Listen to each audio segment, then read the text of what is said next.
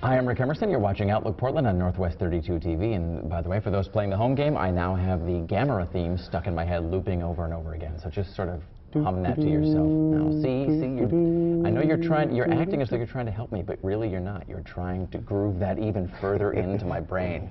Damn you, Galen Huckins! Sorry, man. Let's talk a bit about some of the projects that Film Musik has done. I'm going to walk through these one at a time and just tell me what it is that attracted uh, you to these properties and recreating them in this way. Uh, we've talked about the Max Fleischer Superman cartoons. Mm -hmm. You guys mounted a production of Plan 9 from Outer Space, which in some sort of horrible, bizarro world way is sort of like pulling the sword from the stone. Um, it is considered by many people to be uh, one of the worst films ever made, if not the worst film ever made. Of course, it's achieved its own kind of renown over the years. What what was the lure of Plan 9? Well, Plan 9, it, well, Plan 9 is, is, a pretty remarkable film, as you know.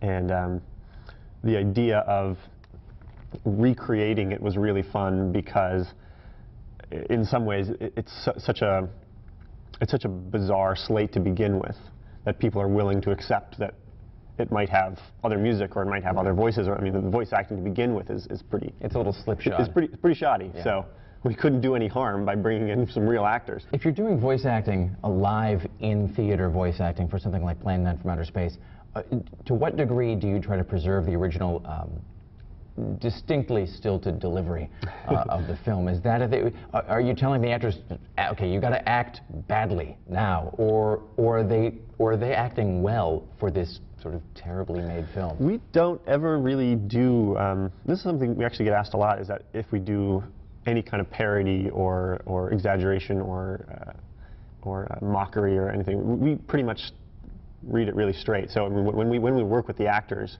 when we're working with the dubbing and, and all that, um, we take a very serious approach. And we, we've had, when we worked on Plan 9, we had um, long sit-down conversations about character motivations and you know who's who is this and who's that and what they were all doing and, and, and had to confront all the irregularities of the plot. I like to think that somewhere Ed Wood is hearing this entire conversation and going, at last, somebody who finally understands what yeah. I'm all about. I think we did. I think I think we we got pretty close to understanding what that movie's all about. Um, Missile to the Moon, which um, I think is familiar to people past a certain age, except those who have some freakish knowledge of silent films. Galen Huckins. Um, uh, it was referenced in um, in the Smashing Pumpkins video tonight tonight, and it's the it's the film that has the famous shot of the missile landing in the eye of the man on the moon, if I'm correct, unless no. I'm making that up. No, because that's that the um, I'm thinking of. That's the uh, that's um, Méliès's uh, trip to the moon, I think. You're making this up because you know I don't know the answer. You're bluffing quiz, right now. Quiz, quiz. Ah, no.